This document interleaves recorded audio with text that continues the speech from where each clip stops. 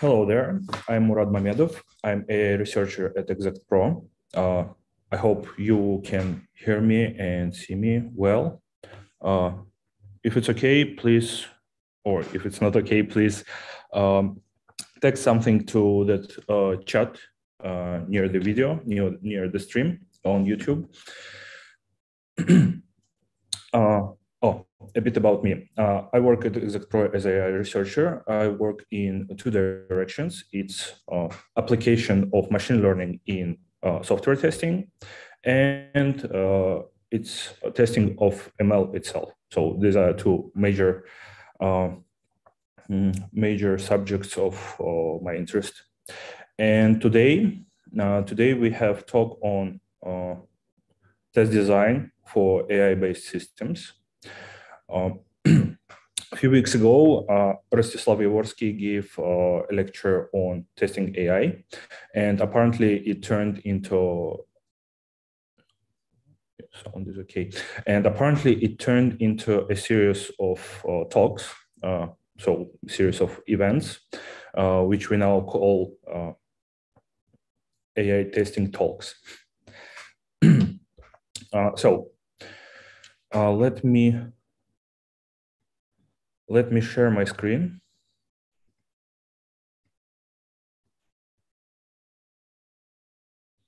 I hope you see the presentation. Uh, and um, previous lecture uh, from Rostislav uh, was a high level, like uh, in general. Today we'll go a bit into details. Into details, uh, we'll talk on uh,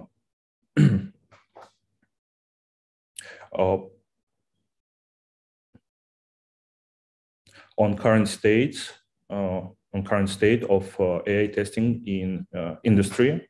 We'll go through some techniques, uh, methodologies, uh, even tools, which are already used for testing of ML algorithms and models.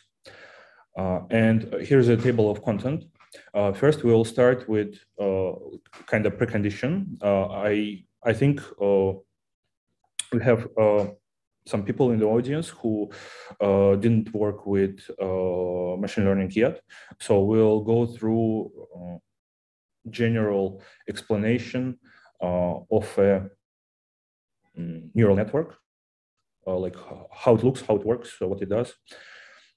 Mm, then we'll move to machine learning development process uh, overview.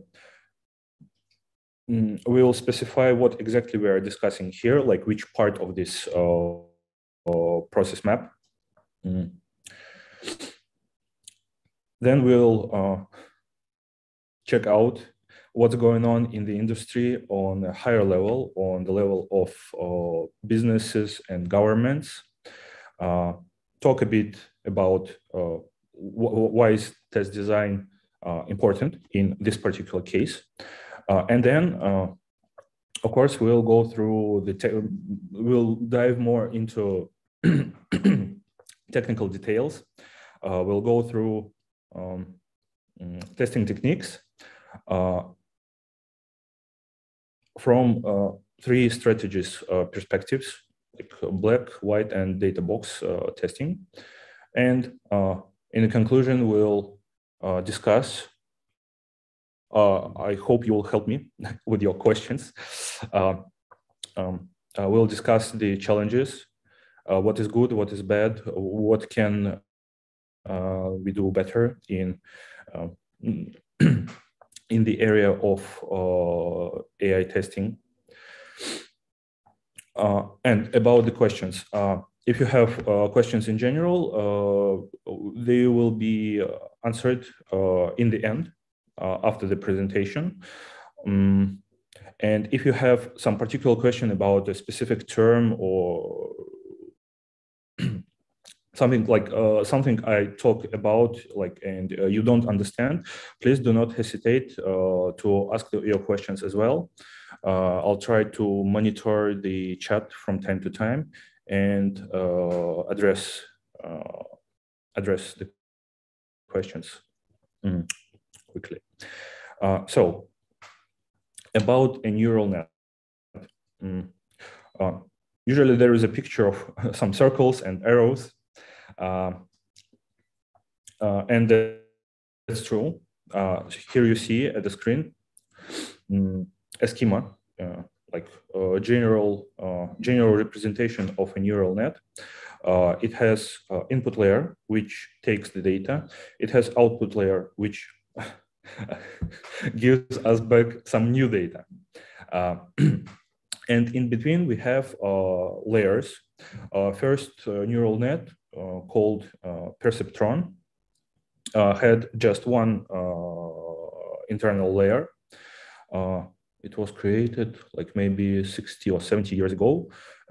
and its purpose was to um, to recognize um, digits like pictures with some uh, numbers. Uh, from that time, uh, the complexity of neural nets increased significantly. So now it's like thousands oh no actually billions of billions of uh, uh, neurons uh, distributed across thousands of layers and they have some tricky connections uh, uh, if you uh, if you Google a general schema of some complex neural net, like let's say Google's TensorFlow, you will see something which reminds us about a spaceship.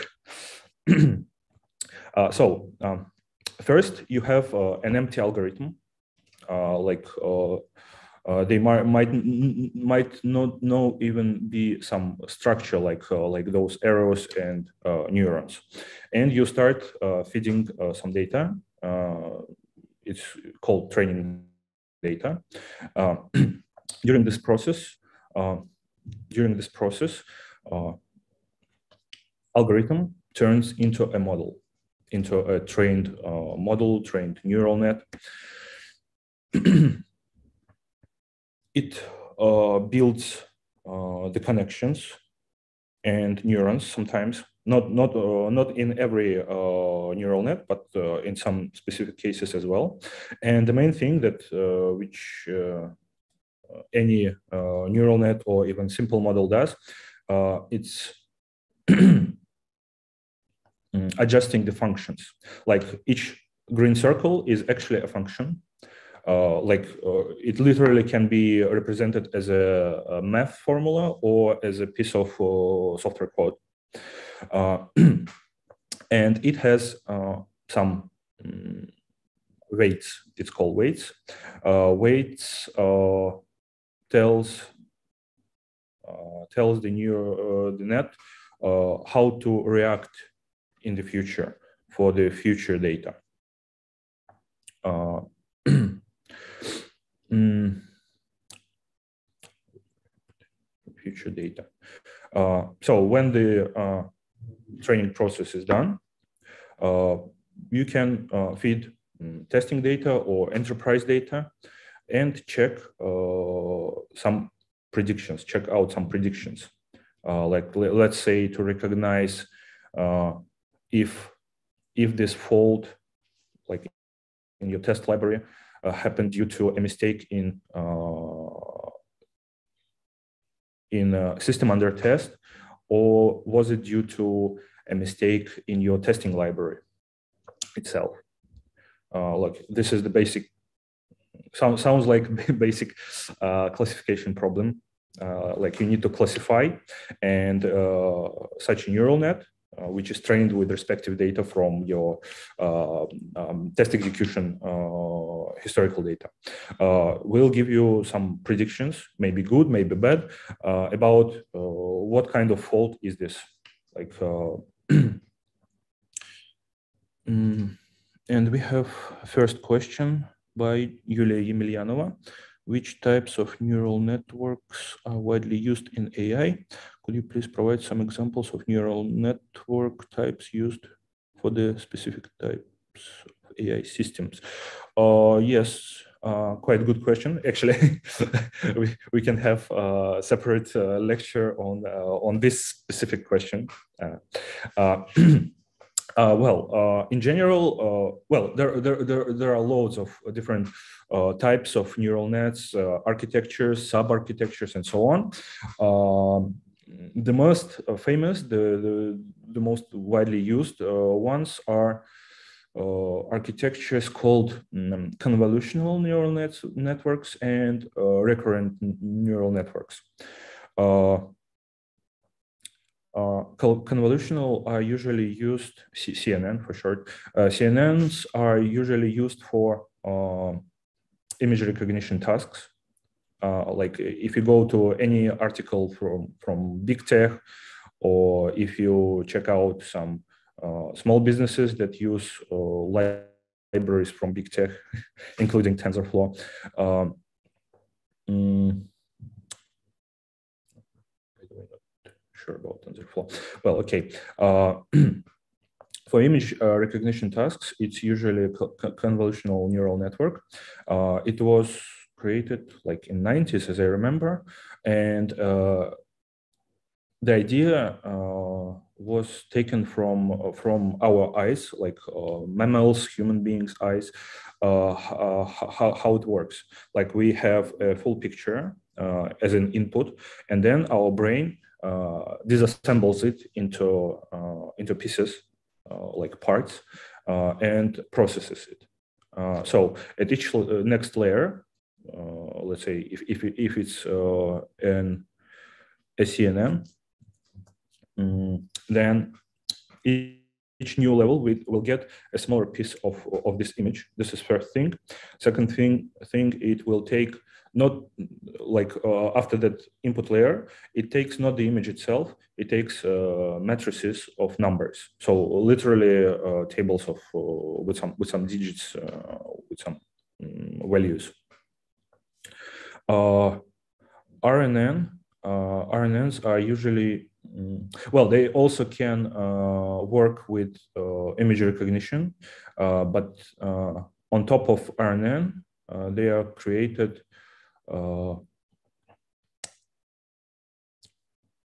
mm, a specific a specific architecture called LSTM. LSTM is long short term memory. Uh, it works well with uh, some data sequences, uh, like uh, let's say timelines or maybe uh, uh, texts when you need to predict mm, when, when it takes a beginning of a text of a string and it and it should predict the, the the the remaining part of, of this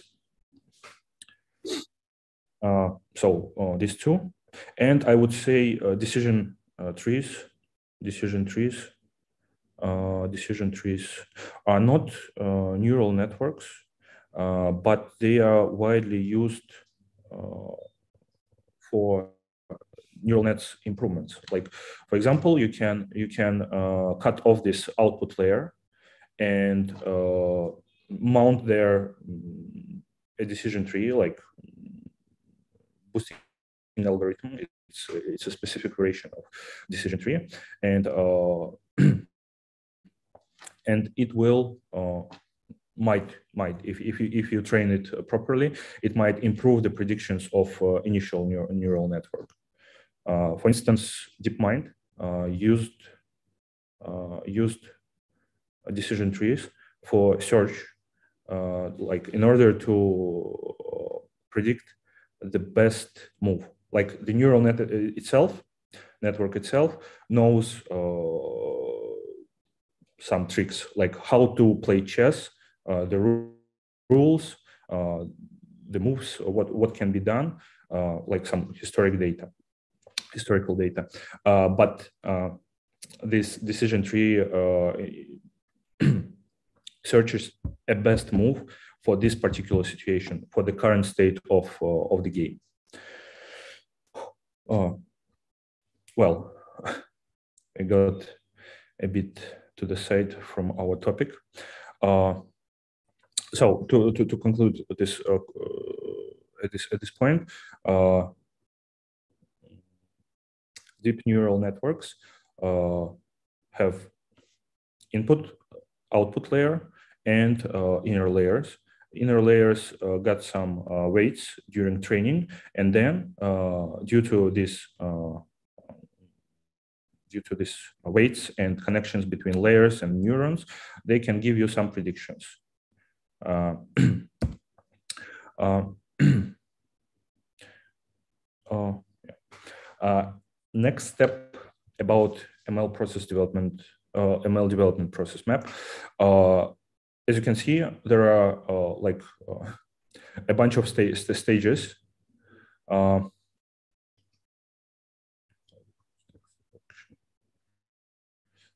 integration. Uh, if we have, why is it important?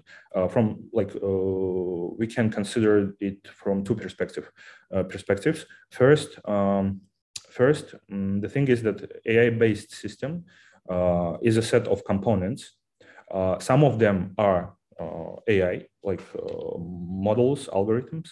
Some of them are classic components, usual usual software software code. Uh, so uh, for today, we are talking about on only about uh, AI components, about models. Uh, this is first thing. Second thing, uh, when you are like, uh,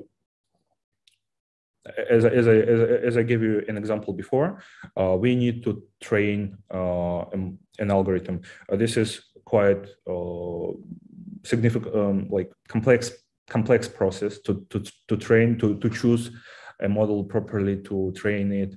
Um, uh, before that, you need to juggle with data, like to clean it, uh, to actually turn data into information to some degree, uh, because actually uh, the models, the algorithms are uh, quite dumb. So um, they do not understand the raw data itself. Uh, you need to like bring it into some order to some degree. So the that cleaning uh, part, uh, the data engineering part, uh, data cleaning part, takes about like 60% of of time. Maybe in some cases it, it might be even 80%. before that, you also need to collect the data. so you are collecting the data, you are cleaning it, you are uh, training model, uh, you are assessing it, uh, then you need to integrate your ML component into with with, with other uh, components. Uh, you also need to deploy it into production. Uh, after you uh, done with all of this, you still need to monitor uh, if if your uh, AI is still actual, if it still meets the real world state. Like, for example, if you are if if your car was like a self-driving car, uh, um, algorithm was trained on like summer data, and then someone uh, drive to to a place where it's snow or like uh, some some new conditions. Um, your model, your algorithm might stop working properly, uh, and you need to check this Mm, like mm, to keep an eye on this. Uh, so since uh, the, the process is complex uh, and uh, consists of quite different uh, uh, topics, which differ significantly, we'll take today only these two data, which, which are related to data collection and preparation and mo model training, evaluation, and tuning. so at this point, no questions for now. Uh, what goes on in the industry? Uh, good news. Uh, during last uh, two years, uh, the AI, well, uh, businesses and governments were interested in this area initially, um, but for last two years, we got some new kind of activities.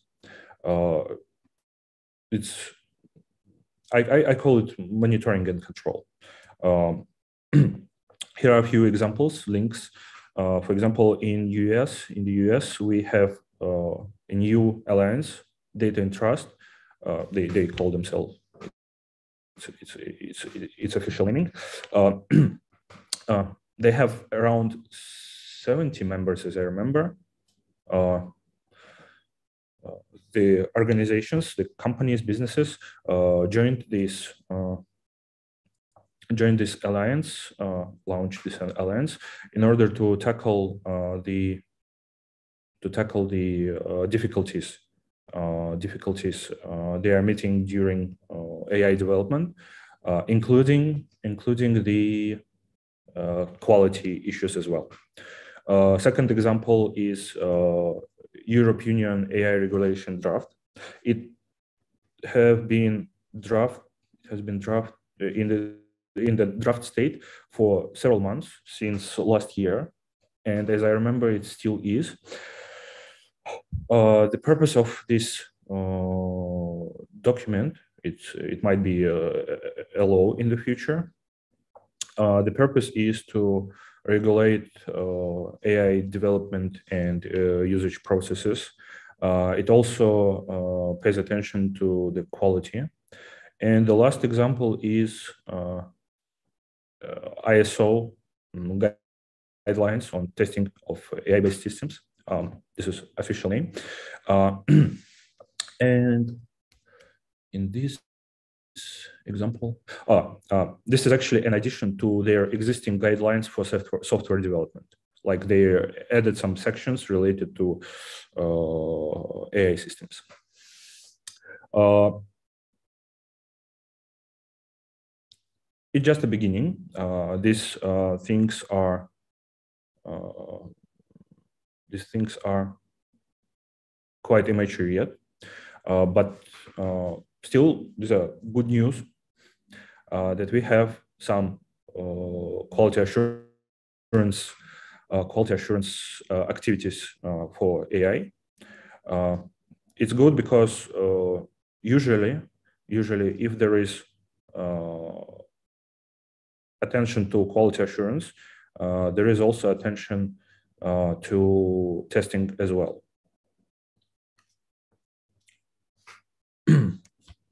And as, uh, as software testers, we are uh, happy to see that. Uh, well, now the bad news. The bad news is that um, how uh, the quality of AI uh, is considered at uh, that higher level, at the level of businesses and governments. Um, here is like a list of items, what can go wrong. this list is prepared by DeepMind for um, language models, but actually it can be it can be applied to any kind of uh, algorithms and uh, areas of AI. Uh, and the thing is that uh, why I like this this list because they uh, call it uh, risks. If you if you go to the news uh, or to social media and look look up some uh, something about this, like let's say human computer interaction harms you will mostly see that uh, specialists uh, spe specialists uh, consider it as requirements. Like uh, we we need to pay attention to the requirements about equality, for example. Uh, while equality itself, it doesn't sound as a complete requirement it it sounds like a concern, which uh, yeah, it really takes place. Uh, it uh, should be addressed, uh, but uh, this uh, this sentence, this this kind of statements, they are not bringing us closer to to how to tackle it. And the practice shows that like experience shows that uh, usually uh, usually uh, such uh, cr crazy situations when an AI system has a flaw are being found by by users, not at the, at the development stage, not even during the monitoring. Uh, it's found by it's being found by the users themselves uh, by accident. Uh, an interesting an interesting example was from Twitter. like um, there is a feature you can you can link attach a photo to your tweet, and it turned out that it recognizes faces, but it prefers white faces. so uh, if, you, if you have a picture uh, with uh, two two faces of different uh, races, uh, then uh, it will always always focus on the white one. European one. So this was found by usual users, and actually after they found it, out, uh, they conducted like users, still users, conducted uh, a series of tests. Like they are not software testers; they're just uh, usual people who, who prepared a good set of tests and like like. Um, completed about uh, about uh, this issue to Twitter and to some social media. Um, it was a kind of scandal, that case. So uh, again, uh, if you talk on that higher level, uh, these are not requirements, these are just risks. So uh, the objective, when if, if we need to uh, test something, we need uh, here another term, Oracle. Oracle is usually considered as a uh, something, something that uh, makes you understand what is expected result for your test case. So uh, in most cases, an oracle can be considered as a requirement, direct or indirect.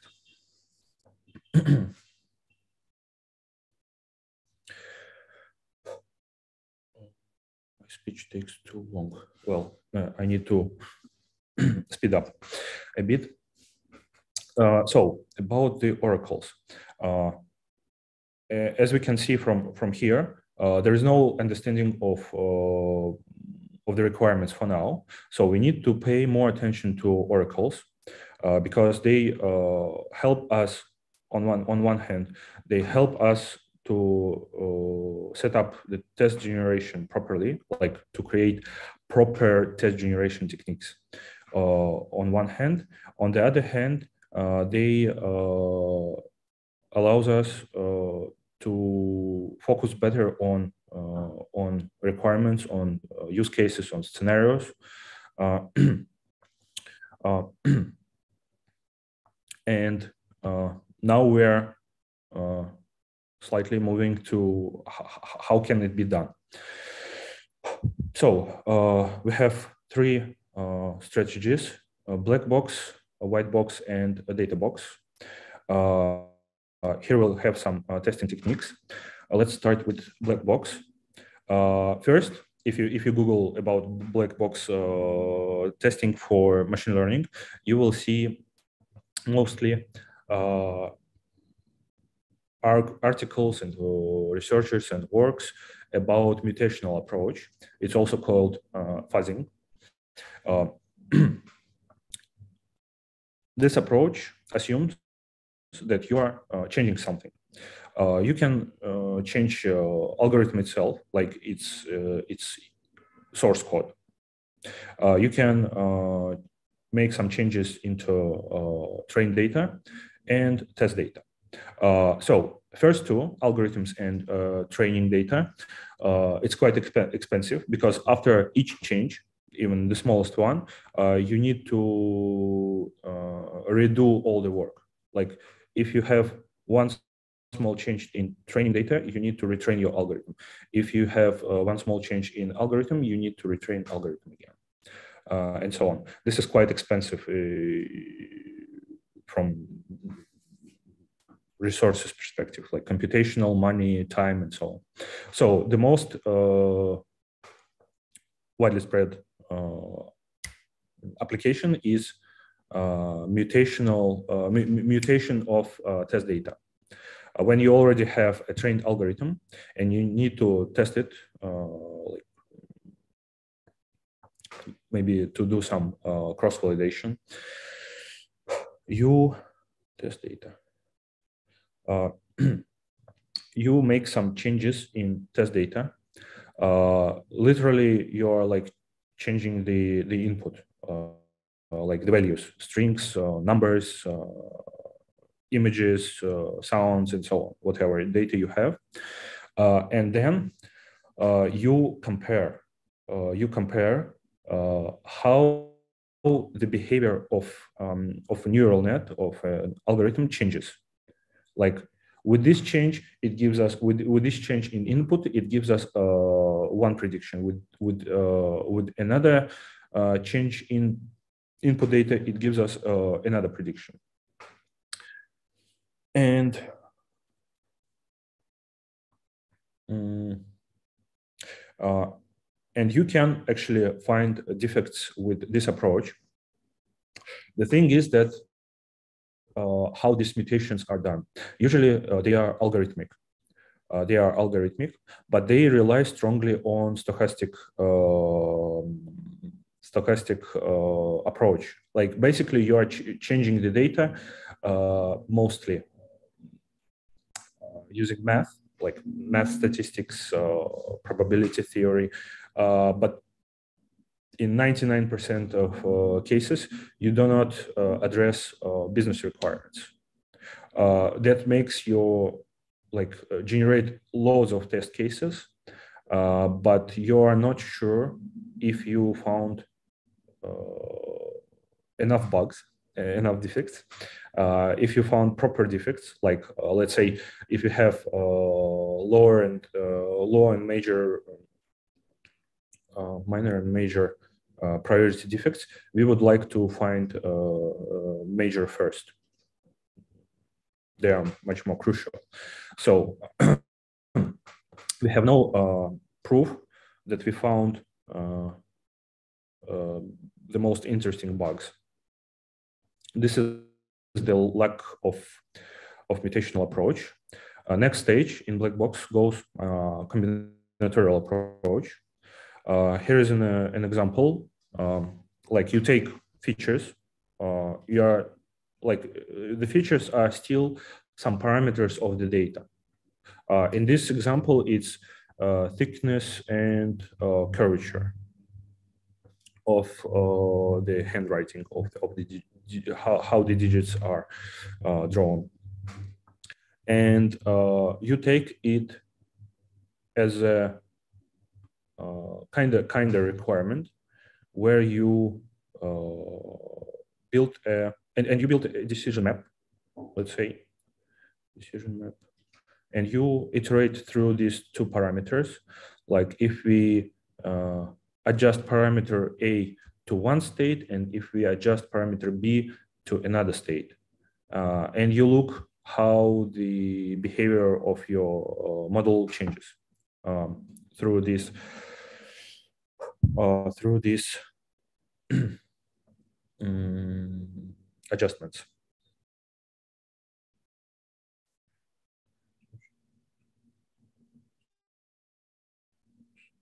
Uh, uh, and the next level, next level is a business logic approach. Uh, with this, with this approach, you are already quite close to, uh, as it says, to the business requirements. Like um, I like this uh, this research. Uh, here is the link. Uh, the guys uh, did uh, quite a great job on that initial stage when they are uh, researching the data, the training data. Uh, they uh, they are using some uh, external materials. Uh, they are uh, they had consensus meetings with with um, with the subject matter experts. there were two case studies. one was with digits and digit, digit recognition, and another one was with um, autonomous vehicles, um, it was uh, steering angle, uh, steering angle um, predictions for, for the cars. Uh, so uh, after these uh, activities, like uh, data research, materials research, meetings with SMEs, they prepared a set of, they called features well, technically, those features are high-level business requirements, and uh, uh, and in this case study, uh, one more uh, one more important thing, uh, the guys brought closer all these three uh, levels of black box testing. Like first, they had these business activities then they moved to combinatorial uh, approach, and then uh, they uh, expanded their testing library using um, mutational test generation techniques. So basically, these are uh, high-level requirements. These are use cases, and these are exact uh, test cases. And uh, and this is the only the, the, the only work I found uh, which tries to bring uh, the those three stages closer to each other. Um, and uh, I see this as uh, as a right direction. So uh, I hope we'll have more examples like like this in the future, because mostly for now, mostly uh, the developers the teams uh, use like they they just take one of these uh, two and use only uh, without any uh, without any uh, connection to other techniques. Uh, so next next stage is white box strategy. white box strategy. the most interesting here the strongest part of uh, white box uh, strategy is called activation testing. let's let's go back to that um, schema mm, of a neural net. So as I mentioned before, each each neuron can be uh, represented as a math formula or software function. Uh, and it has some uh, weights. so due to like uh, these weights, uh, each neuron can be activated or not. Uh, it means first, uh, what, what is activation? It means that uh, if, if this particular neuron will give some output, because we, we, we have a general output of the whole um, net, uh, but we also have outputs on in each layer uh, from uh, from some of the uh, neurons. So activation means that a neuron gave us back some some value. This is first thing. And second thing how exactly it was activated what like what was this value? Uh, why is it important? Um, like uh, because mm, because each neuron's uh, activation and or non-activation and its uh, activation value uh, impacts uh, the latter part of uh, neural nets, uh, the next layers and next neurons. so we would like to we would like to check their behavior, and there are several approaches uh, what exactly uh, to check, how, how, how exactly to check these activations. First goes uh, just usual activation. It's done by threshold. Like, like let's say your neuron might give us back might give back some value from minus one to plus one. Uh, so uh, you can you can say I'm interested in all the uh, values in all the neurons that uh, give us uh, something that is not zero, that is not zero. this is usual neuron coverage um, technique. Next goes neuron boundaries coverage. it might be something like from like like a range like from 0.3 to 0.35 uh, like when you are interested in some particular predictions. Uh, uh, next was uh, next goes uh, differential testing. It's it's quite expensive uh, approach. It's quite expensive approach because it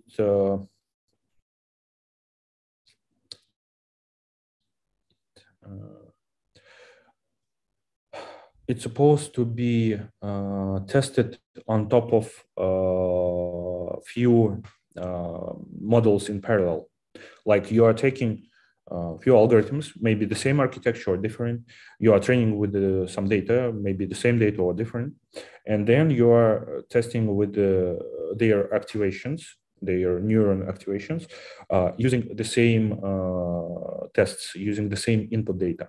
And you then track uh, down the differences in their behavior let's say uh, an algorithm trained with this data behaves like like this. An algorithm uh, trained with uh, another data behaves uh, in different way, and so on. Uh, next, those SSC, uh, VSC, and so on. Um, next part, they are about they are about uh, about interactions between uh, neurons and uh, layers. Like if if this particular neuron impacted next layer and how exactly it, it, it impacted it, if, if yes. and the last one is uh, uh, likelihood uh, likelihood and uh, distance-based uh, surprise adequacy. I like I like this technique for for its naming, and um, it it it literally is um, surprise because uh, you are checking uh, like you you take uh, a trained algorithm. You give some input and you, you actually give, give two, two inputs. One is the data uh, from training, the data this uh, neural net was trained uh, with. And another input is uh, something new, some, some new data, testing data. And uh, you check the difference on uh, how, what, what is the difference in neuron activation between those two inputs like how this neural net reacts to uh, familiar data and how this um, neural net reacts to unfamiliar data. Uh, and then you can uh, compare the difference. So this difference is called surprise. Uh, uh, here is a list of uh, tools for activation testing. You can check them later. Uh, here are some extra details. I think we are not going to discuss it today. Uh, but uh, if you're interested, you can Google it later or uh, check the differences between between these tools. Uh, I would say that that DeepConcolic is the most mature one, uh, mature one from from from these seven tools. So what, what is missing? What is missing uh, in activation testing? Uh, the thing is that uh, most of the researchers, uh, when they do that activation testing, they focus on uh, the only on the what what's going on in inside the neural net, and pay less attention to uh, and pays less attention to the output. Like they are still checking it, like it was in that example with uh, LSA and DSA, uh, but still, um, it's not a verification of validation from uh, our business requirements perspective. Uh, for this, for this um, as a recipe, recipe uh, for improvements, uh, we might bring closer input testing like black box and activation testing like we when we are uh, creating test library for activation testing, uh, we consider uh, what we know from our input testing phase and uh, vice versa. Mm. And the last one is data box strategy. Uh, data box strategy is uh,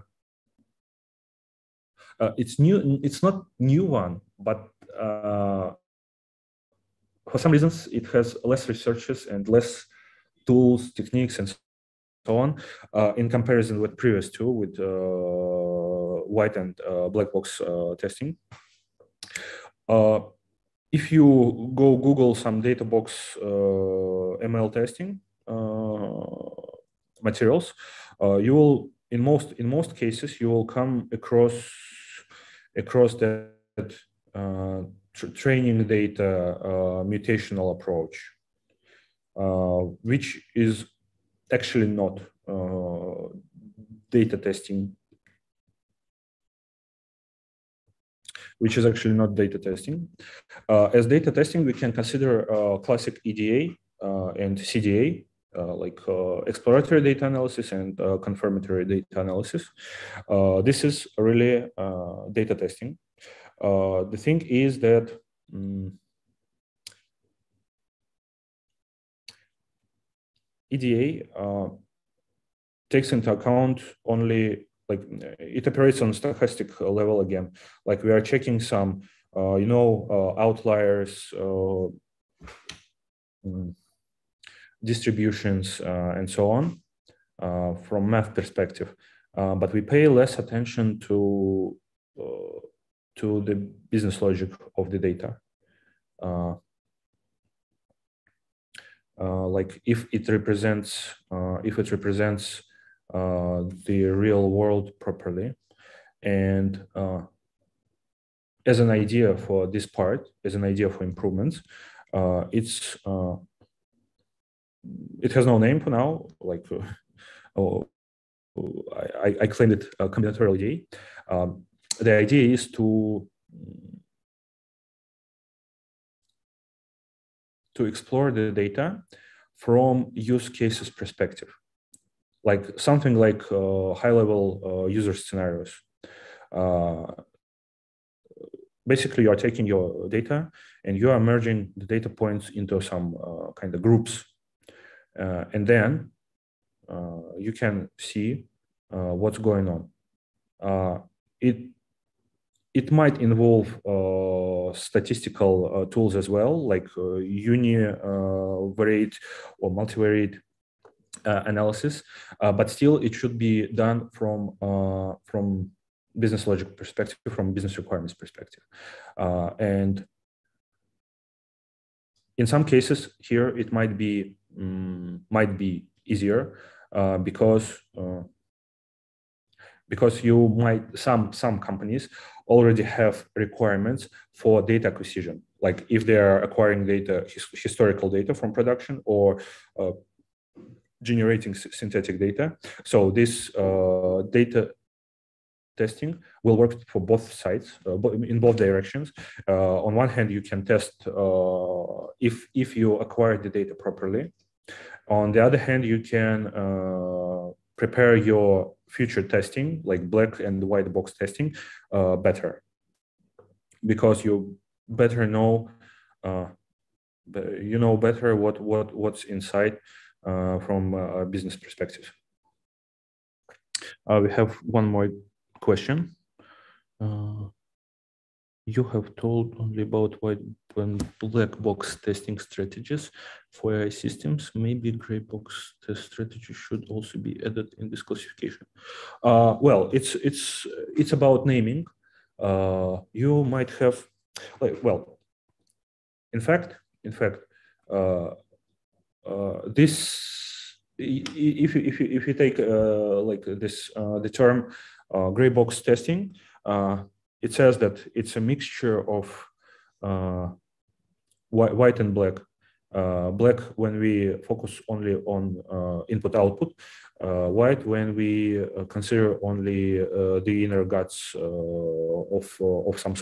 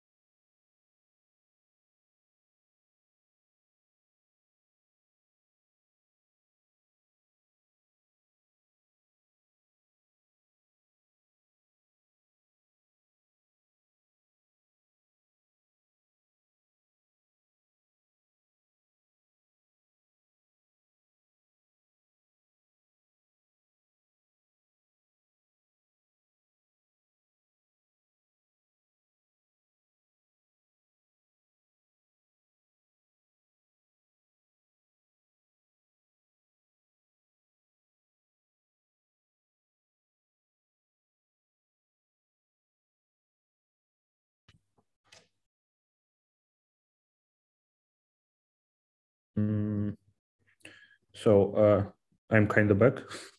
Sorry for for that. Uh, for some reason, Zoom uh, stopped working. Uh, so um, technically, uh, you already have access to like to neural nets inner parts, like it's neurons and layers and uh, functions and weights and so on. On the other hand, you also at, this, at the same time you have access to input. Uh, oh, sorry, to the output, to the final output, to the prediction. Uh, so uh, it depends only on how you use that. Like if you if you use uh, both of them, then uh, from terminology perspective, yes, it, it is it is a gray box, gray box. Um, just mostly it's called white box for some reasons. Well, and and yes, uh, conclusion is quite short. Uh, since this is still a new area, uh, AI testing, no one knows how to test it properly. The main recommendation, the main uh, idea which we need to explore is not just to focus only on specific techniques, but to think also on uh, how we can bring closer uh, those different techniques uh, to each other, and also how to bring uh, those technical uh, aspects closer to to the business level, like how to connect them. Um, so that's it from my side. I I finished. Uh, thank you for attending. Now, now if you have uh, questions, uh, you can you can ask.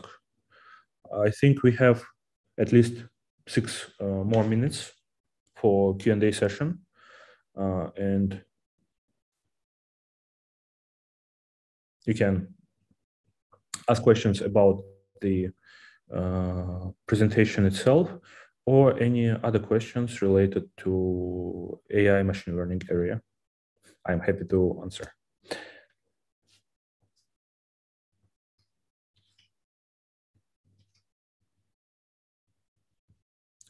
Okay, let, let's wait, wait for one more minute. And if there are no questions, we'll leave this meeting.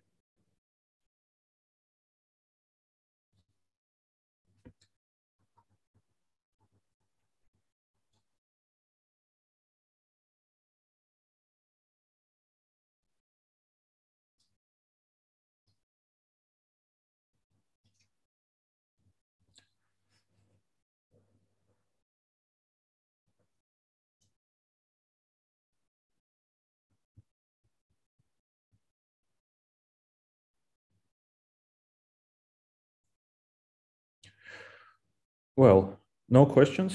Uh, thank you, guys. Uh, join us during our next sessions. Uh, we'll update you on our social media uh, on this matter. And uh, thank you one more time uh, for questions and for your attendance. Bye.